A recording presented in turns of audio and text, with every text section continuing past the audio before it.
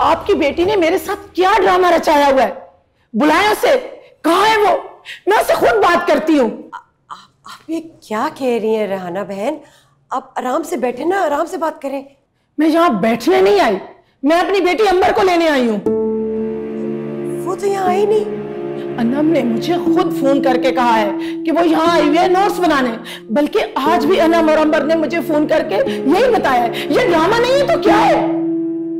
देखिए मेरी जवान जहान बेटी है कहाँ गायब किया इसको?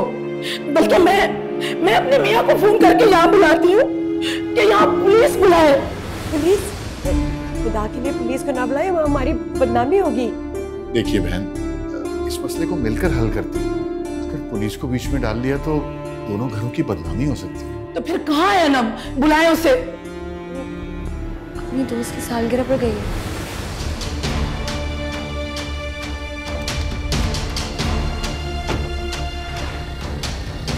लीजिए आज फिर टकराओ।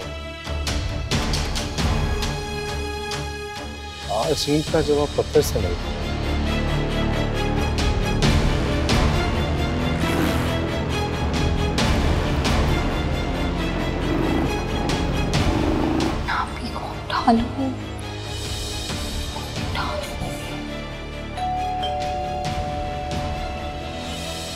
अंबर कहाँ है? मुझे नहीं पता।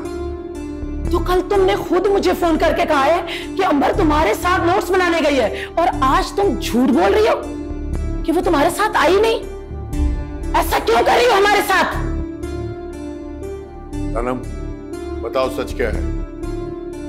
अब्बा मुझे अंबर ने ऐसा करने के लिए बोला था। क्यों? मुझे नहीं पता देखिए इसको सब कुछ पता है। ये उसके साथ मिली हुई है। सच सच बताओ वरना वो तुम्हारा वो हाल करूँगी तुम याद रखोगी। बोलो सच बताओ। अंबर दिलावर से मिलने गई थी वो। उससे मोहब्बत करती है। मगर उसकी अम्मी अबू नहीं मान रहे थे।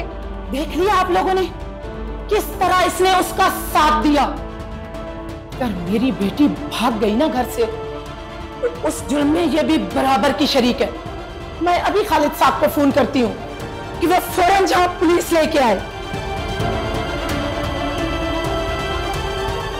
खालिद साहब, अंबर यहाँ नहीं है और तुम फ़ौरन पुलिस लेके इनके घर पहुंचो। भाड़ में गई ऐसी इज़्ज़त।